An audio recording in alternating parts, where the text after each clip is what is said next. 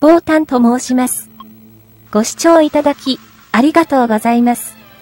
チャンネル登録、高評価していただけると、嬉しいです。難易度上級で、リスタートなしのクリアを目指します。出陣武将と装備、道具の一覧は、概要欄もご確認ください。動画は倍速です。今回は、15人のフルメンバーの出陣です。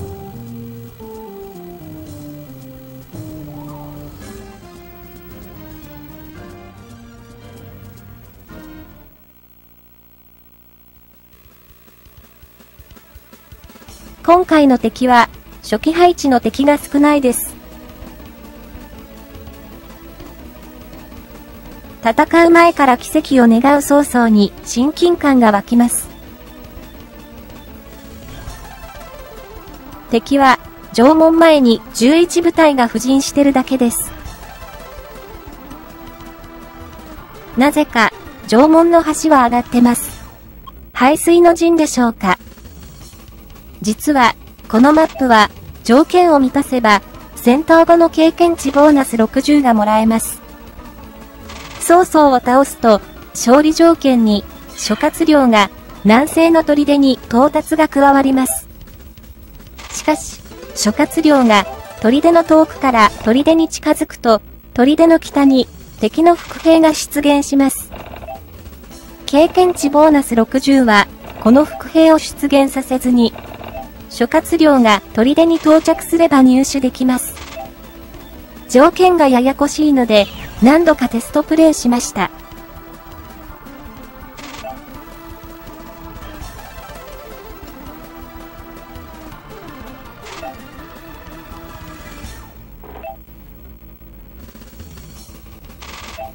テストプレイを繰り返し、諸葛亮をあらかじめ砦に隣接させておき、曹操を倒すと諸葛亮が砦の近くにいても伏兵が出ないことが分かりました。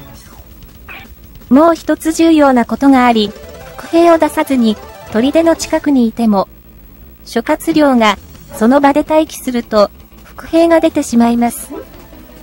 砦に隣接させて曹操を倒した後は最後に砦に入るまで諸葛亮は一切操作してはダメです。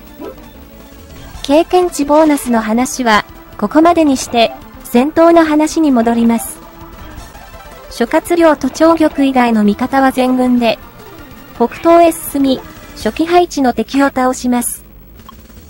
観察はレベル低いので、移動中に、脅威で2回奮起をかけ、攻撃力を上げます。いつも通り、軍師と脅威は回復で経験値稼ぎし、他の部隊で敵を攻撃します。敵は、ジャコ部隊も、レベル30を超え、最上位のクラスになってます。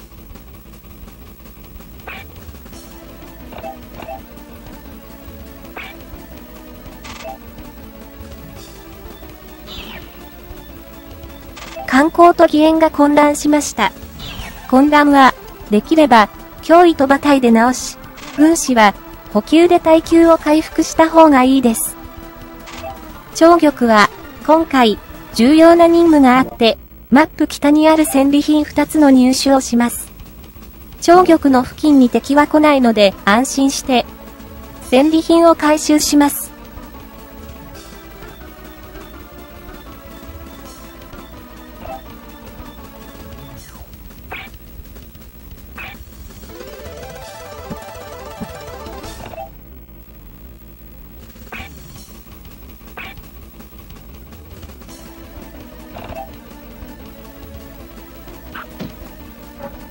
なるべくレベル低い観測で敵を倒したいです。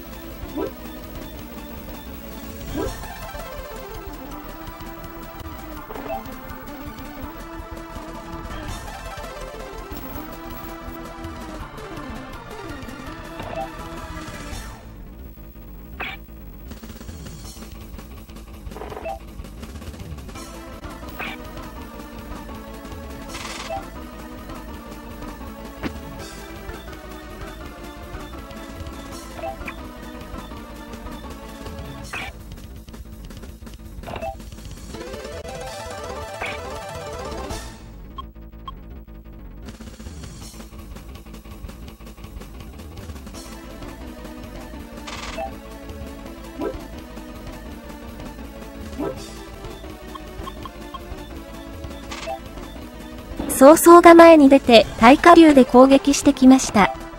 大火竜は結構大きなダメージを受けます。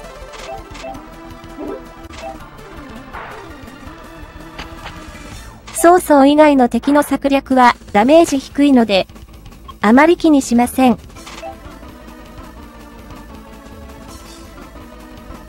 王兵の放射体がようやく攻撃できる位置に移動できました。移動は大変ですが、金美化魔法の混乱と複数攻撃は強力です。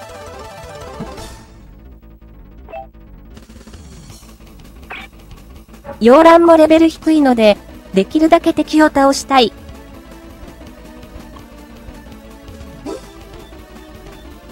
軍師は、大火流のダメージを回復します。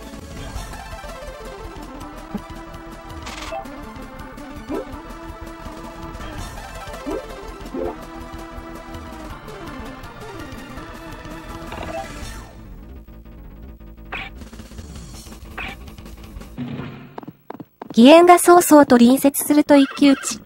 俺様の名は義援。命が惜しくなければかかってこい。敵将はどこだ？この私が相手になろう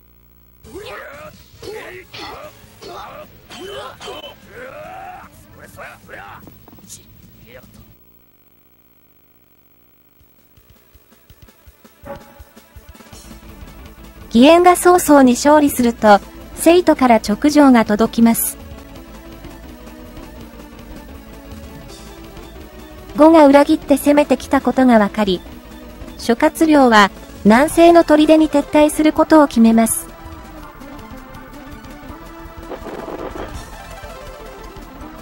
勝ってる職が撤退する様子を見て、敵の援軍が大量に出ます。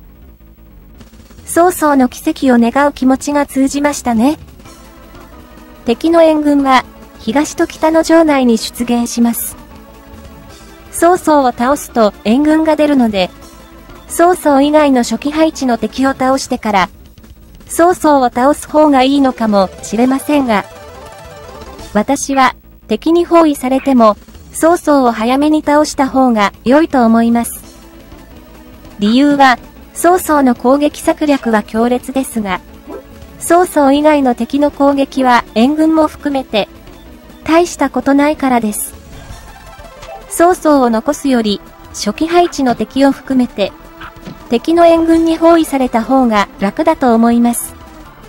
北の援軍の中に確保派がいるのですが、両家が隣接すると一騎打ちになり、両家が負けて死亡するので要注意です。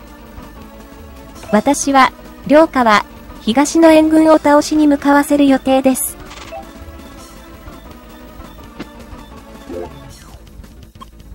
諸葛亮が行動してないですが、ここで待機を選ぶと、北に伏兵が出ます。とにかく、諸葛亮は、操作しないでください。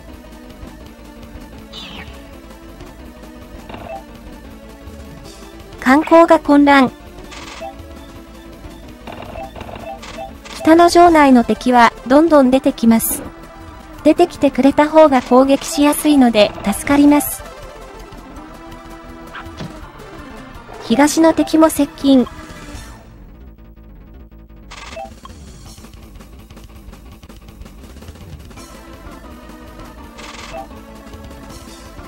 脅威で観光の混乱を直します。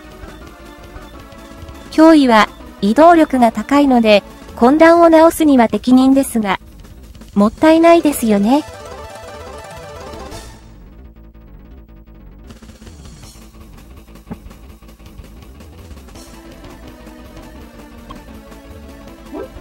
軍師は回復で経験値稼ぎ。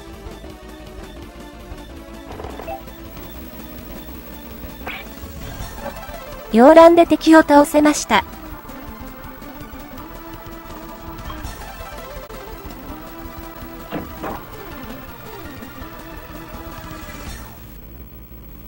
兵の攻撃で敵に部隊が混乱。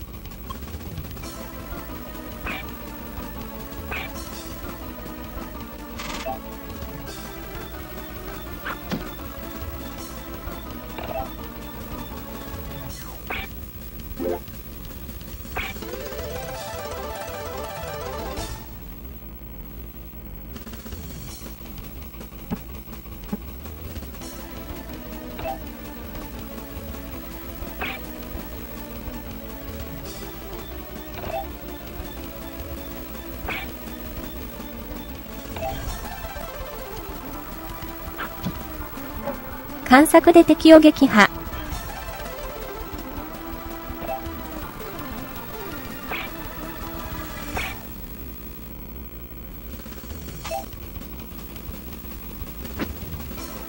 両下で弓を撃破。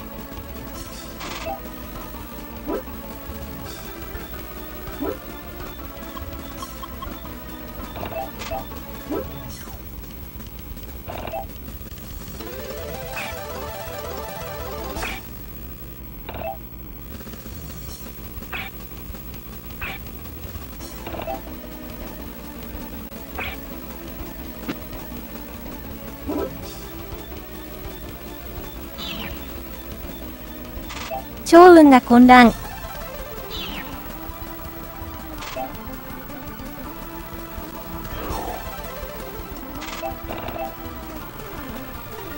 混乱中の超運が狙われてます。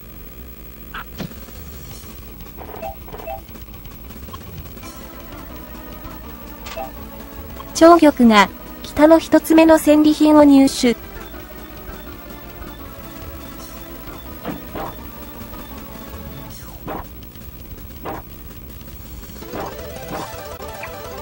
兵の攻撃で敵三部隊が混乱。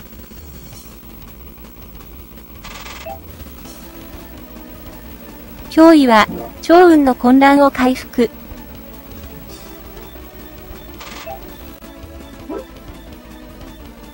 宝刀は耐久が減った観光を回復。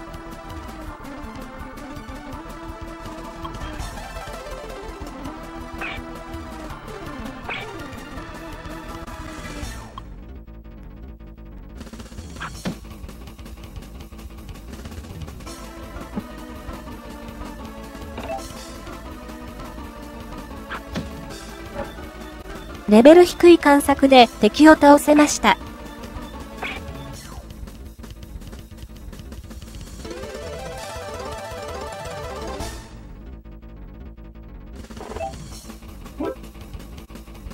洋蘭は回復で経験値稼ぎ。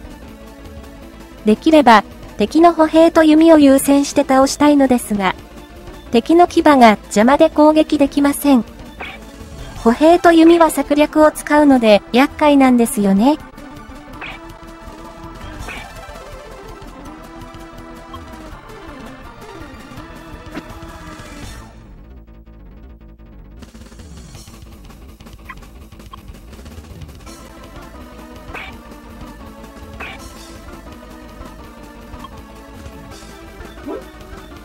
官兵が耐久が減った超運を回復。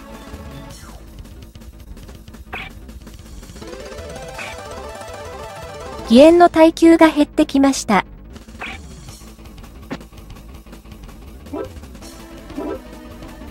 敵も補給の嵐で生き残るのに必死です。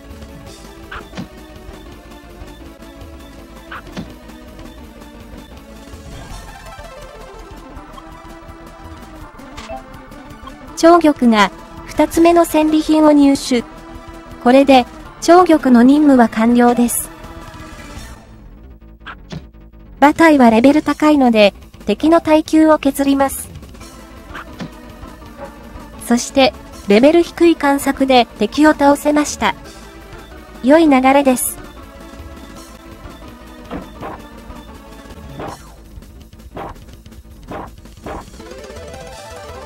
王兵の攻撃で一部隊が混乱。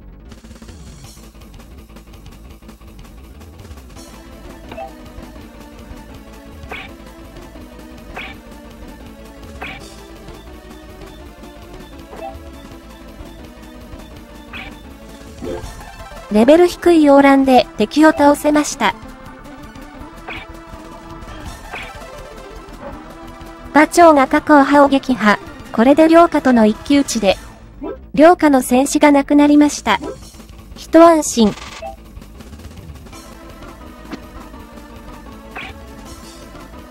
早速、両家を北の敵の攻撃に向かわせます。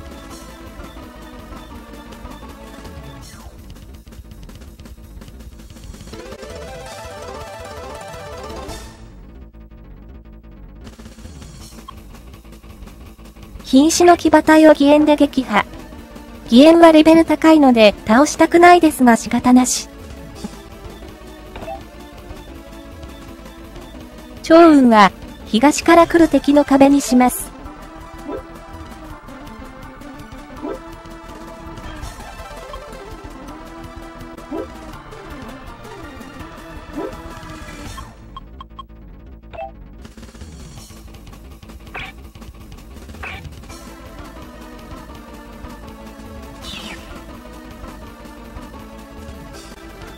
両家が混乱。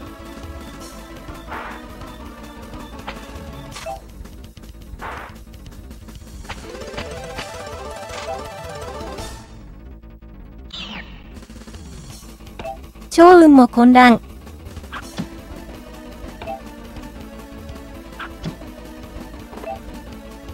そして狙われる超運。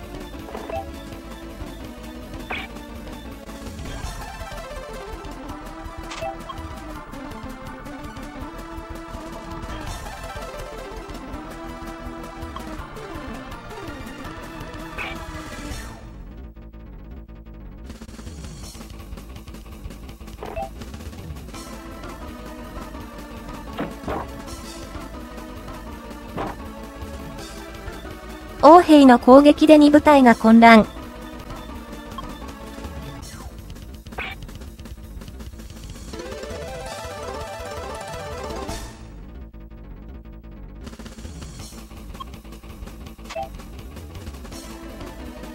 脅威が、超運の混乱を回復。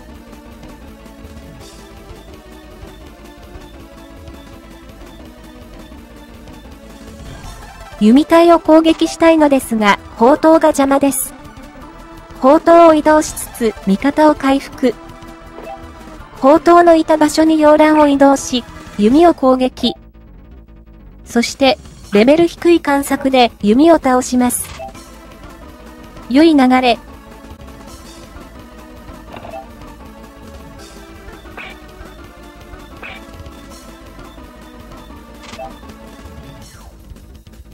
馬隊が、両家の混乱を回復。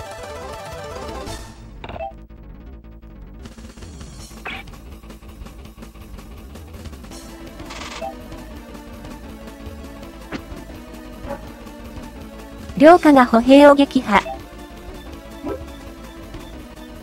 官兵は、耐久が減った超運を回復。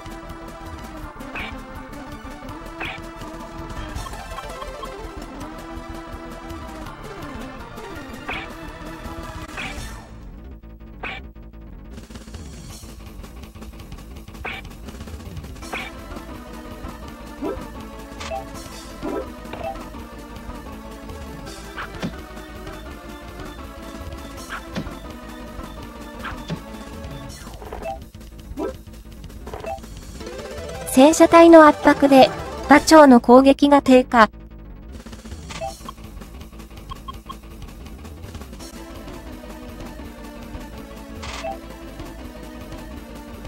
暇な脅威で、馬長の攻撃低下を直します。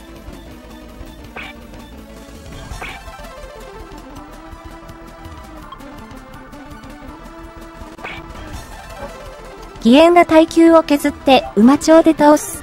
良い流れ。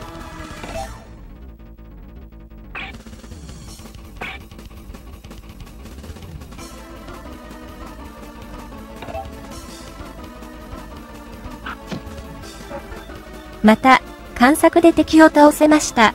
これも良い流れ。北の敵が減ったので、王兵は、東の敵を攻撃開始。敵一部隊が混乱。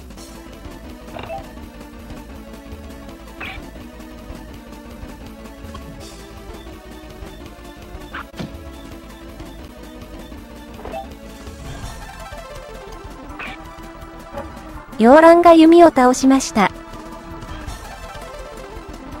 これで、敵は、東から来た援軍だけになりました。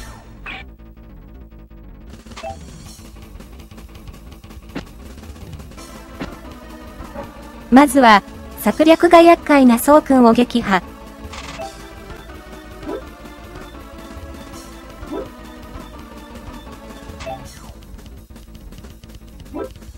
軍師は回復で経験値稼ぎ。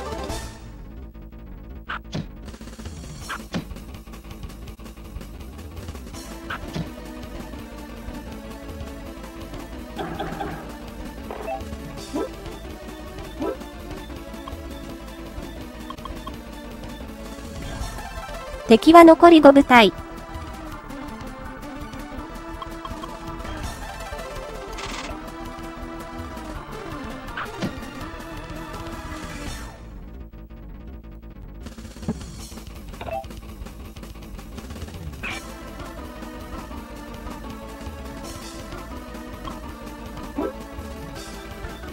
洋蘭は回復で経験値稼ぎ。観察で敵を倒せました。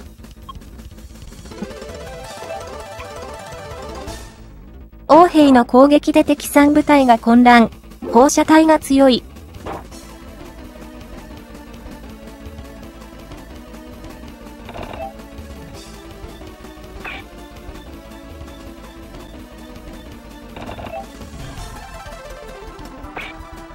北にいる敵の戦車隊は倒しません。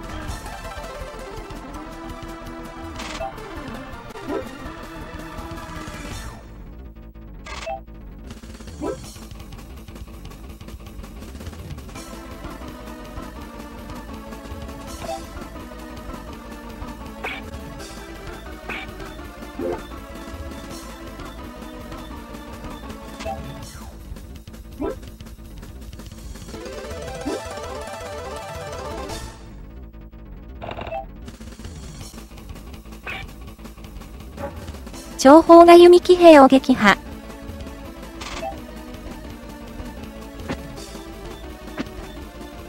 両下で、北の戦車隊を倒さない程度に攻撃。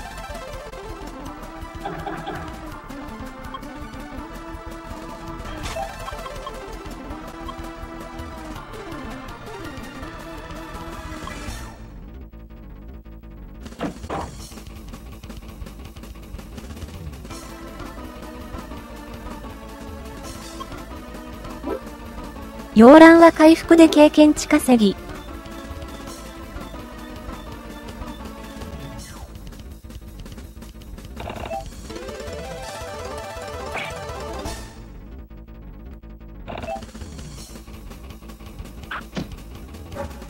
また、レベル低い観察で敵を倒せました。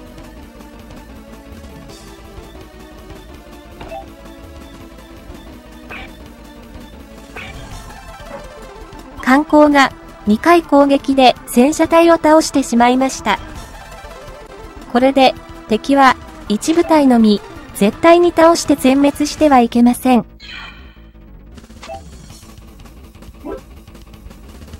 回復で経験値稼ぎします。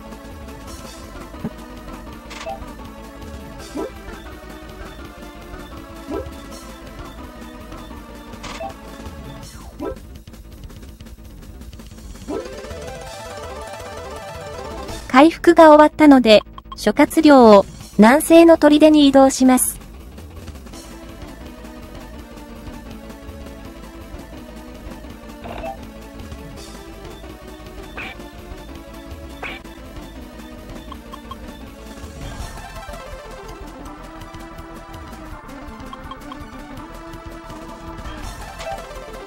これで、北の敵の伏兵を出さずに諸葛亮が南西の砦に到着できました。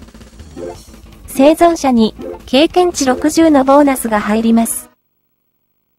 戦闘中、何もしなかった暇な諸葛亮という珍しい戦いでした。戦いには勝ちましたが、長安は諦めて撤退です。今回の撤退は全軍での撤退ではありません。私は経験値ボーナスの取得に2回失敗しました。1回目は諸葛亮を待機させて伏兵が出現。2回目は敵を全滅して砦に入るのを忘れてしまう。プレイされる方で経験値ボーナス60が欲しい方は気をつけてプレイください。